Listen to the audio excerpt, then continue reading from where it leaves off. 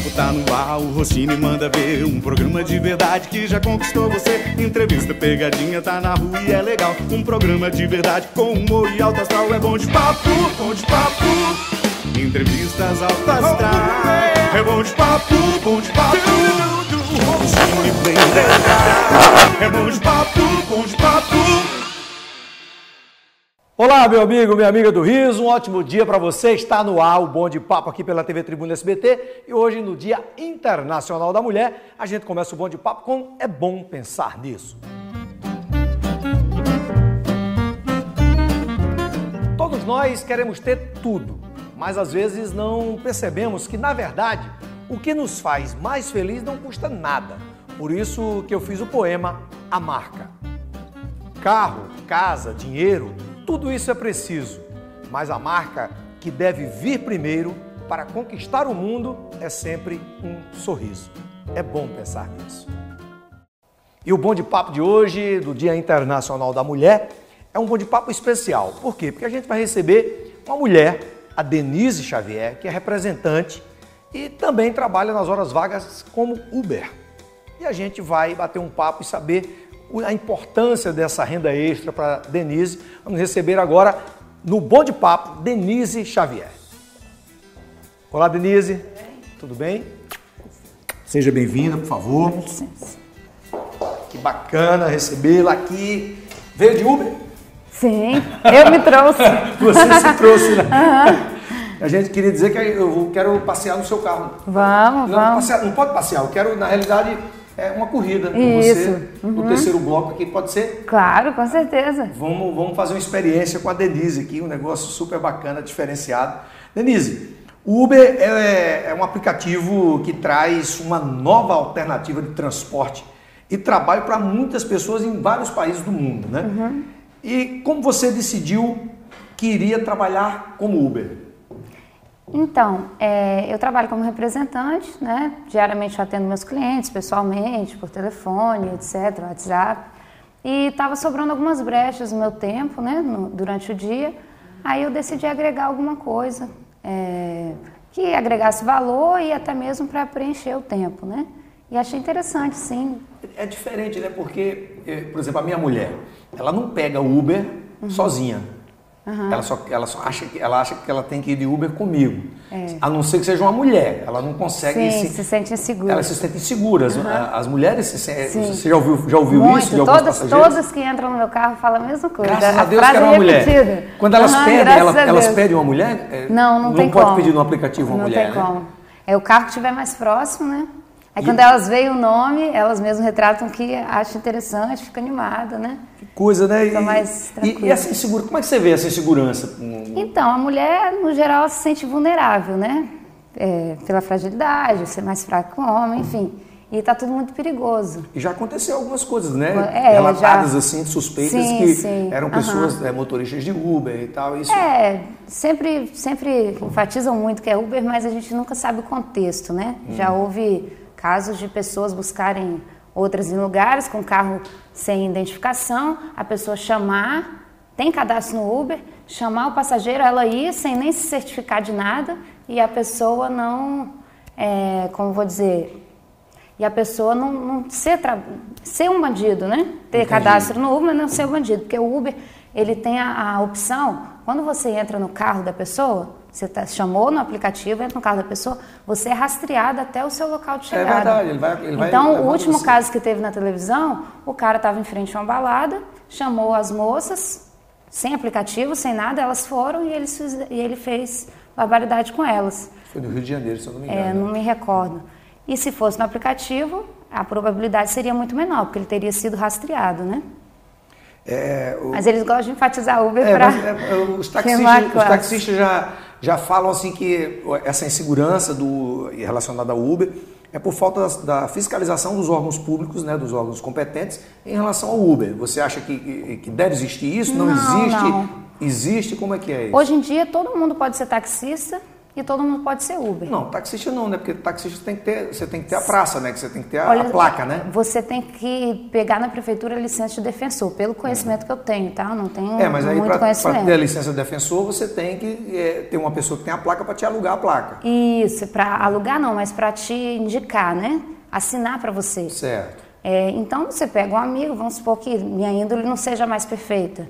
É, eu não estou falando mal do taxista, estou só querendo dizer que tanto para ser Uber, tanto para ser taxista, independente da índole da pessoa, se ela não tem antecedentes criminais, ela faz o cadastro. Tá? Então, nem taxista, nem Uber quer dizer que a pessoa vai ter segurança total. não tem segurança mais em nada, Em né? Às vezes nada. tem padre, entendeu? pastor é de isso igreja, só que né? eu quero que, dizer. que comete crime, Todas né? as Todo classes mundo. têm gente mau caráter, não Todo tem lugar jeito. você, você está sujeito a isso. né? Exatamente. Vamos fazer- a gente vai conversar mais ainda. Claro que a gente vai agora no bom humor com o Antônio dos Couros. Sim. E daqui a pouquinho a gente volta, vai tomar um café e continuar o nosso papo. Então tá bom? tá bom. Antônio dos Couros no bom humor. Alô? Ei, ei, Nilza, tudo bem? É, é mesmo? Eu vou contar essa história porque hoje é o Dia Internacional da Mulher. E eu vou homenagear a mulher através da sua sogra. Ó, olha que negócio legal. Pode deixar, Nilza, deixa comigo, viu? Neuza acabou de me contar que ligou para a sogra dela hoje no Dia Internacional da Mulher. A sogra atendeu e disse: Alô? Neuza disse: Minha sogra, me diga uma coisa. Eu queria tirar uma dúvida com a senhora. Diga, Neuza. Me diga uma coisa. Quando o filho da gente faz cocô, quem tem que trocar a fralda é o pai ou a mãe? É sempre a mãe. Então, por favor, minha sogra, vem aqui em casa, porque seu filho chegou bêbado e tá todo cagado.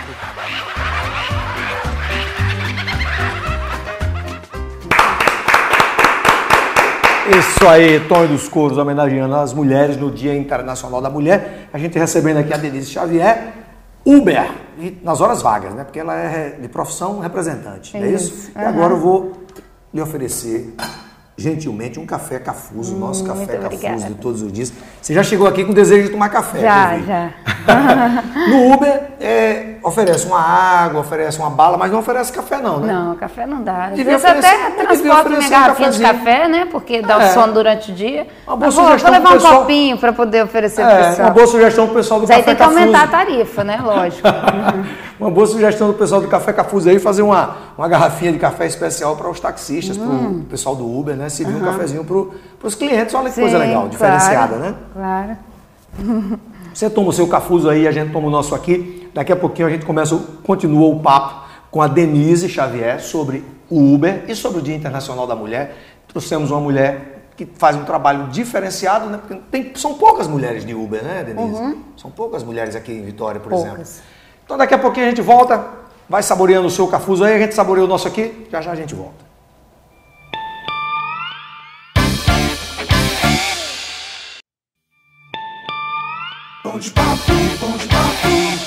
Legal, de volta no Bom de Papo e hoje a Boa de Papo, Denise Xavier. No Dia Internacional da Mulher, a gente convidou uma mulher que trabalha também como Uber nas horas vagas e a Denise é essa mulher, é uma dessas mulheres aqui do Espírito Santo que faz esse trabalho. E aí, Denise, a gente estava conversando aí no intervalo e eu queria eh, lhe perguntar uma coisa. O- muitos taxistas né, reclamam fazem eh, manifestações na frente da prefeitura, das prefeituras e tal, do Brasil todo, não só aqui em Vitória, mas no Brasil todo. Teve até violência né, em São Paulo, do Rio de Janeiro, nas cidades maiores.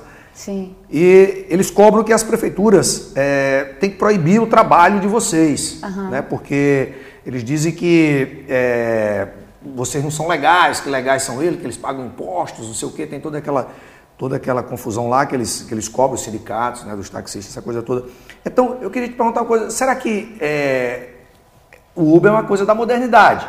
Assim como é o WhatsApp, por exemplo. Sim. Aí o pessoal das telefonias móveis tem que pedir para acabar com o WhatsApp? Não, evolução, né? A gente não pode andar para trás. Você né? imagina, se Vamos- acaba o WhatsApp, a gente tá ferrado. É, todo mundo Já é um novo meio de comunicação mais justamente. barato, né? Bem mais Isso, barato. e né? muito A gente prático, só usa né? a internet, na realidade. Né? Ninguém, é, é, é raro as pessoas que telefonam hoje. Né? Isso, é muito mais cômodo. Então a mesma coisa é o Uber. Você, você acha que essa Sim, com comparação é certeza, válida? com certeza, muito mais prático. Agora tem uma outra coisa, tem uma, uma- algumas pessoas que mandaram WhatsApp pra gente aqui, e-mails Uhum. para o nosso programa, falando que tem taxista que também participa do Uber. Que às vezes a pessoa Sim. pediu um Uber ela pediu um Uber, aí chega um taxista lá na casa dela. Acontece. Ah, Você acontece. já ouviu falar disso? Já, já ouvi muito falar. A gente tem grupos de WhatsApp, né? E a gente compartilha essas situações que vão acontecendo. É, nossos próprios colegas, às vezes, pedem para a esposa e tal. E quando chega o Uber, é um carro plotado, né? De táxi e é irregular, né? A Uber não, não aceita, no caso, essas duas funções, né? Aí o cara tem, o cara tá jogando dos dois lados, dos dois times, né? Exatamente. aham. De repente ele. É porque, complicado. porque os taxistas também têm, têm aplicativos, né? Acho que tem o 99 e tem o Easy Taxi, né? Eu já Sim, usei o- sim, sim. o Easy Taxi, que é bem Aham. legal também. Mas é mais caro.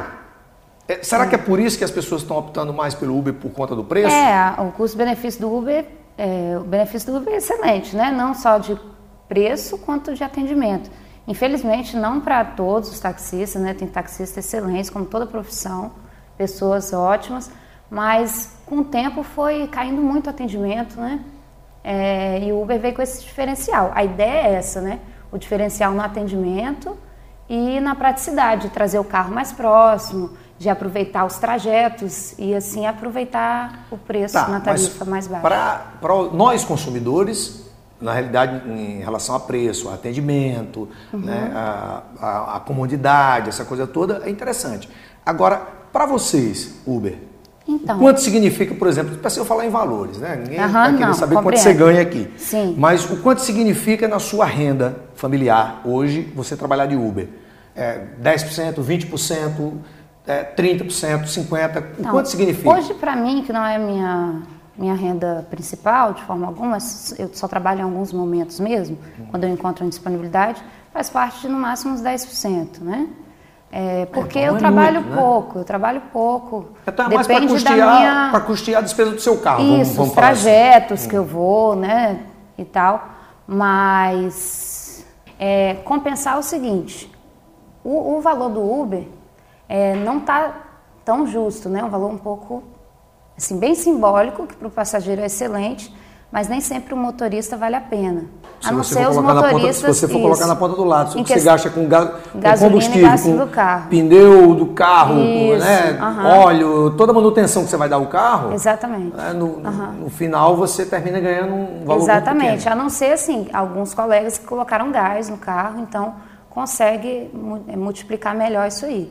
Mas fora isso, cria um impacto muito grande, inclusive no diferencial do táxi, que é uma tarifa muito maior. Por isso que talvez eles estejam chateados. Eu até compreendo nessa parte, porque para o Uber ele está sempre ganhando. O Uber ganha, tá? É, eles tiveram um- uma ideia muito bacana, tal, tá super positivo para todo o país mas tem que rever a questão da tarifa, porque compensar para o motorista, não compensar para o motorista, compensar apenas para o passageiro e a Uber ganhar, contanto que um- uma classe esteja sendo lesada, não é bom para ninguém. Não é bom nem para o Mas tem taxista, uma tarifa nem pro- alta também, não tem? Quando tem poucos, quando É, quando poucos tem carros, poucos, isso. aí a, a- Que é o preço dinâmico. É o preço dinâmico. Isso. O cara chama de preço dinâmico. Ferra com o consumidor, ele chama de dinâmico. É, porque se na praia do canto todo mundo estiver pedindo Uber ao mesmo tempo, então dá uma valorizada, mas mesmo assim não chega ainda o valor do táxi. Tá bom, vamos fazer o seguinte, vamos do papo de rua com o Antônio dos Couros e daqui a pouquinho a gente volta com mais papo aqui com a Denise Xavier, só que do terceiro bloco, aí é uma surpresa. Eu vou andar no Uber da Denise. E aí eu vou ver se realmente é tudo isso que ela fala mesmo, se o atendimento é legal, se ela dirige bem. Vamos, vamos comparar tudo isso. Daqui a pouquinho a gente volta. Papo de rua. Cunha, menino, porque hoje no Papo de Rua nós vamos conversar com as pessoas sobre o momento de crise que o Brasil vive, se elas têm coragem de abrir um negócio. Se elas tiver, eu vou virar sócio. Se o senhor, nesse momento de crise, o senhor tinha coragem de abrir um negócio nesse momento de crise? De crise? Não, Não tinha, não? Se o senhor não fosse aposentado, não tinha coragem não de abrir não, um não, negócio? não, já, o que, o que eu tinha O que senhor já foi comerciante? Já foi? Já... Não, não, não, o que eu tinha que fazer pela nação já O fez. senhor era funcionário público? Eu fui funcionário da Vale, do Banco do Brasil, trabalhei. Então o senhor não tinha coragem de abrir um negócio desse, desse momento difícil? Vindo de você é difícil responder, pô. Como é o nome da senhora? Aparecida. Eu? Juliana. Juliana e Aparecida, mãe e filha. O momento de crise do Brasil é muito grande, né, dona Juliana? Ou dona Aparecida. Aparecida? Não é? É verdade. O momento é difícil de crise. Agora, vocês num momento desse, vocês tinham coragem de abrir um negócio, por exemplo? tinha, tinha assim, peito para abrir um negócio? Eu creio que eu teria, sim. É? Que tipo de negócio? Comida? De comida? Um restaurante, um negócio? É uma lanchonete. Uma lanchonete. Você, Não sei. você ajudava sua mãe? Sim, É? No sim. momento desse. Então, beleza. Você está aqui no programa, no Bom de Papo, e é uma surpresa, porque eu vou virar sócio do seu negócio. Tá certo? Tudo bem. A gente vira sócio e aí a gente dá o balanço, né? Você dá o balanço e pode ficar com líquido dentro. Não tem problema não. Depois de tudo certo, você fica com líquido. Tá apoiado? Tá, tudo bem. Como é seu nome? Jackson, Jaque, você tem quantos anos? 13. 13 anos, olha só, Jaque. 13 anos. Você com 13 anos está vivendo, primeira vez você está vendo uma crise na sua vida, né? Antônio Correia. Você quer que você diz a seu pai em casa, sua mãe? Você diz, pai, eu, eu, eu, se eu tivesse dinheiro agora eu abri um negócio. Você tem coragem de abrir um negócio, por exemplo? Tenho. Que tipo de negócio? Um salão de cortar cabelo. Salão de cortar cabelo. Olha só que legal, cara. Então vou fazer o seguinte com você.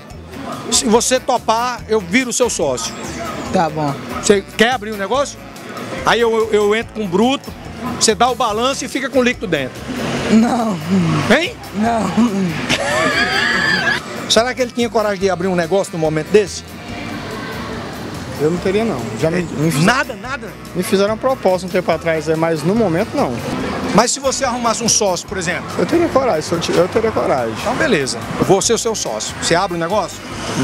Você tem experiência para abrir um negócio bom, né? Um negócio bom? Exper- experiência eu tenho, E mas. competência? E competente. Pronto, então eu vou virar seu sócio. Esse é o quadro do programa aqui. Ah, é? Vou virar seu sócio. Entendi. Tá certo?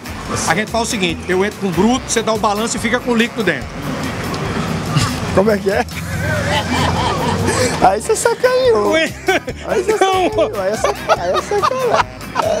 Se essa balançada ra- é, ra- rasgou o pau da barraca, aí cortou a sociedade no meio. E assim, nesse momento de crise, você tinha coragem de abrir um negócio? Não. Por que não? Ah. Por que não? Ah, essa crise aí tá, tá feia demais. Não tem nem como. Mas É. assim, se, se você arrumasse um sócio para você abrir uma a fábrica de a fábrica de picolé é sua, você tinha coragem? Tenho. Você não tem capital, né? Não. Mas assim, se arrumar um sócio, você abre um- Ah, eu uma sorveteria, uma, uma, uma fábrica de picolé. Assim, É? Então, eu queria dizer que hoje é o seu dia. Estamos aqui no Bom de Papo, no Papo de Rua. Esse quadro é para poder fazer a felicidade das pessoas. E eu queria dizer que nesse momento você acabou de ganhar um sócio. Vamos abrir um negócio junto? vão. Topa mesmo? Topo. Tá topado? Sim. Então beleza, a gente vai começar a partir do mês que vem. Vamos preparar tudo. Eu vou entrar com o bruto, você dá o balanço e fica com o líquido dentro. Tá bom? Beleza. Tá certo assim? Certo. Pode ficar com o líquido dentro à vontade, todo dia, não tem problema não. Todo dia eu entro com bruto, você fica, você dá um balanço e fica com o líquido dentro, tá bom? Dê uma balançadazinha aí pra ver. Você tinha coragem de abrir um negócio hoje, num momento de crise desse? Olha, na situação em que o nosso país se encontra, é meio difícil, tem que ter muita coragem. É? É, tem que ter muita coragem. Eu, Não, mas para dar exemplo, pô, eu tô perguntando isso para você dar exemplo para as pessoas que estão em casa, né? As pessoas mais jovens. Você tinha coragem? Que se você tivesse coragem, qual o tipo de negócio que você abriria hoje? assim, olha, eu vou falar por experiência que, que, que minha filha tem um pet shop, Ah. eu abriria um pet shop. Ah, um pet shop. Com certeza. Você topa abrir um pet shop? Eu topo, se eu tiver dinheiro. Se você arrumar um sócio. Aí se eu arrumar um sócio, com certeza. É esse o quadro do programa. Ah. Você arrumou um sócio, eu vou entrar com você nesse negócio. A gente vai ver em quanto tempo isso vai dar dinheiro. É tá isso certo? aí, beleza. Então a gente vai combinar o seguinte: Sim, a gente vai começar o negócio, eu, eu vou entrar com o bruto, né? Você dá o balanço e fica com o líquido dentro. Rapaz, isso é um trocadilho, né? Não, é, é o negócio aí. Eu, eu- eu entro com o bruto, você É. dá o balanço e fica com o líquido dentro. E aí o negócio continua. Bom, financeiramente falando, o negócio tá fechado. Ei, gente, mudando de assunto rapidinho. Tá complicado pra pagar as contas, né? Eu sei, são vários boletos que chegam, a despesa que não acaba mais. Mas calma aí, calma porque tem um jeito. Porque a da Casa Financeira vai resolver. É isso mesmo, dê uma passadinha agora mesmo na da Casa Financeira de Laranjeiras e converse com a gerente Alexandra. Faça o seu empréstimo pessoal e você ainda pode aproveitar para pagar suas contas no caixa da da casa com muito conforto e segurança e de um jeito rápido e prático. É isso mesmo. Tá esperando o quê? Vá agora mesmo na da Casa Financeira de Laranjeiras. Porque vai resolver. Mais crédito, mais confiança.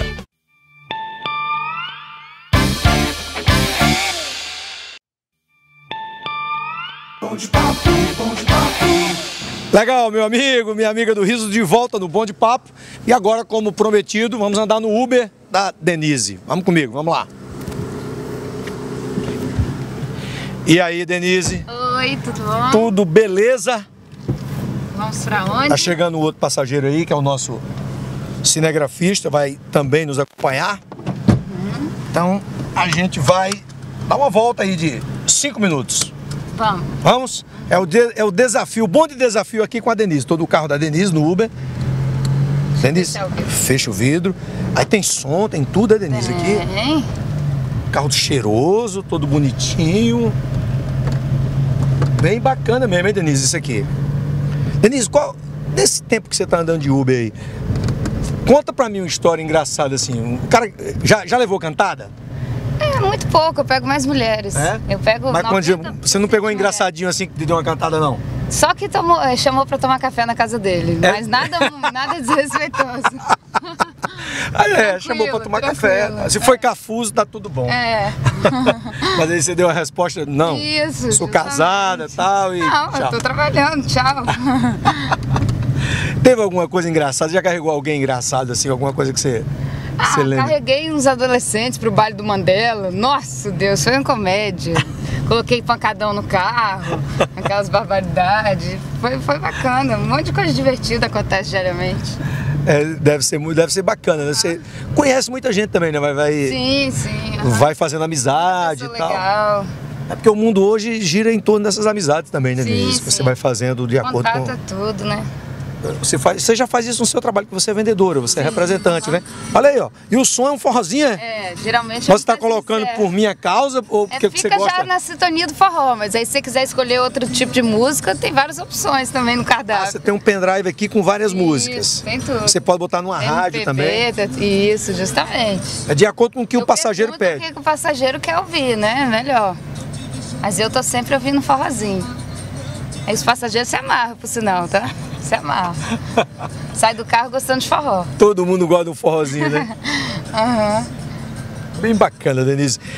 Denise, eu, pe- eu percebi que o seu carro tá ultra limpo, assim. Cheirosinho por dentro, todo limpo por fora. Tem que estar sempre limpo, assim? é? Tem, tem que estar sempre limpo. Quantas vezes por semana você lava seu carro, então? Pelo menos umas três, quatro vezes. Caramba, então você gasta muito dinheiro com lavagem de carro, porque lavagem de carro hoje é 40, 50 reais. Não, mas tem um precinho de Uber. Os lava-jatos tem alguns específicos que faz um precinho pra gente diferenciar. Ah, é? Então quer dizer que quando eu for lavar meu carro agora, eu chego no, no, no Lava Jato e digo, eu sou Uber, aí o cara vai fazer um preço melhor. É, mas não só falar, né? tem que mostrar o registro. Ah, tem que mostrar o registro? É, justamente. Mas geralmente já vai indicado por outro Uber, né? Então É. não tem isso. Ah, vim aqui meu amigo tal, meu parceiro tal, me indicou, aí já fica tudo certo. Que bacana. Dando uma volta com a Denise aqui no Uber dela. Muito legal, bem cheiroso. Porque uma coisa que eu odeio é entrar num carro com cheiro de cigarro. E eu já entrei em táxi com cheiro de cigarro. Sabe? Eu odeio. Se eu, se for, se eu for comprar um carro usado, por exemplo, e tiver aqui, porque o cheiro de cigarro não sai, né? Se você fumar num, num carro, não tem quem tira o cheiro de cigarro. Eu não compro o carro. Difícil, é difícil. Tem que rolar uma higienização, né, do ar e tal, do filtro. Não, porque principalmente se o banco não for de couro, né? Se o banco for assim, Isso, é, é. aquele, aquele mau cheiro do cigarro deve agarrar ali e não sai nunca, cara. É Eu peguei um negócio- passageiro cheirando a cigarro que, nossa Deus, foi difícil tirar aquele cheiro. Terrível. As pessoas ainda fumam hoje em dia, né? É. Negócio muito louco, cara. Aham. É, Denise, você é uma pessoa feliz dirigindo Uber? Sim, sim, eu gosto muito de conhecer gente diferente. Né? Hoje, hoje o que mais me impulsiona a dirigir Uber é pela distração do que pelo dinheiro. É mais do que a grana, É então. mais do que a grana. É muito divertido. é- E muita gente diferente. situações diferentes, né? Histórias, você ouve histórias das pessoas, é muito bacana. Muito bacana mesmo. E você conta a história da sua vida também para as pessoas? Conta também, conta também. Mulher, senta aqui, ó. Senta aqui dois minutos, eu já sei da vida dela toda e, eu- e ela sabe da minha. É igual o salão de beleza, então, né? A mulher. Psicologia. Então, você, motorista de Uber, funciona para a mulher como se fosse uma, uma manicure, uma cabeleireira. Tudo isso, tudo isso. Tome papo. Tome papo, justamente. Você é casada, tem filho, tudo? Não, não. Solteira, Denise? Aham. E você não foi tomar café na casa do cara por quê? O cara não era bonito, não? Não valia a pena tomar um café na casa dele? Não, não. É complexo. É complexo, Denise. Não, não, não fazia o seu tipo, então, vamos falar assim. Não, é, tô trabalhando. Tô Você acha que é possível, por exemplo, você conhecer um passageiro e de repente você gostar do cara e. E aí? Mas o contato é muito rápido, né? O contato é muito rápido. Não, mas pode acontecer. Não tem telefone, não tem nada. Não tem amor à primeira vista? Não tem, né? Amor ao primeiro Uber, amor ao primeiro primeira corrida. pode rolar, não pode? É, não sei, não Sei rolou, lá, não. não é, não tô, tô sem- querendo ser profeta não, mas de repente, né? Quem sabe, né? Vai que, né? Vai que cola, né? É, aham. Denise, eu queria te agradecer pelo papo, foi super legal. Queria te desejar assim muito sucesso no seu trabalho, também no Uber, em toda a tua vida, porque você é uma mulher muito simpática, uma mulher bonita e que merece todo o sucesso na vida, tá bom? Uhum. Obrigada. Um abraço, Obrigada sucesso mesmo para você e para todos os Ubers, também para todos os taxistas, para todo mundo que quer trabalhar honestamente, dignamente, né? Essa, essa é a ideia. Pra todo mundo, isso é certo. Beleza? Você de casa fica com muita sorte, saúde, sonho, sucesso e sorriso sempre. Até amanhã. Valeu, gente! Papo terminou e você se divertiu. Um programa de verdade pra você que é nota mil. Entrevista pegadinha, tá na rua e é legal. Um programa de verdade com humor e alto astral. É bom de papo, bom de papo. Entrevistas alto astral. É bom de papo, bom de papo.